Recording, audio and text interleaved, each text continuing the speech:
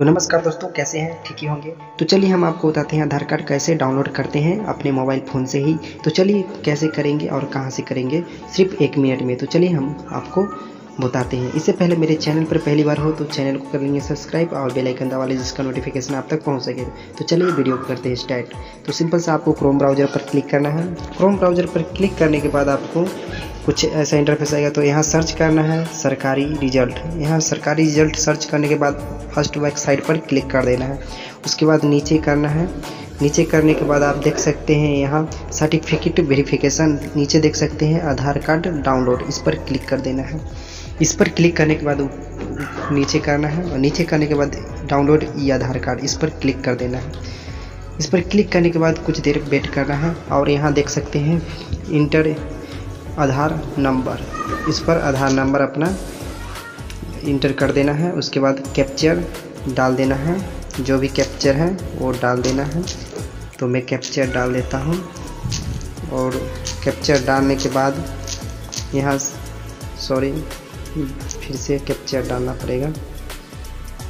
Capture डालने के बाद सेंड ओटीपी पर क्लिक कर देना है। सेंड ओटीपी पर क्लिक करने के बाद कुछ देर वेट करना है। तो कुछ देर हम वेट कर लेते हैं।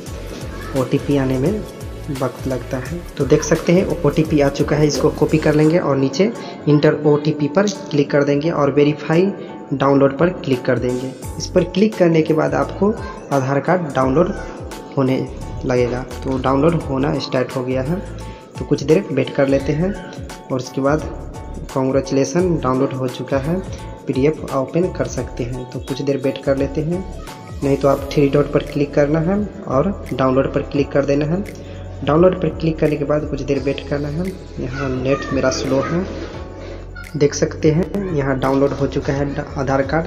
तो इस पर क्लिक करेंगे और उसके बाद जस्ट इस पर क्लिक कर लेंगे। उसके बाद पासपोर्ट मांगेगा।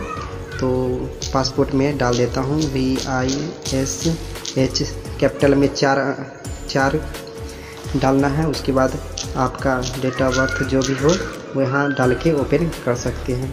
तो मैं एक पासपोर्ट गलत डाल दिया हूँ। फिर से डालना पड़ेगा।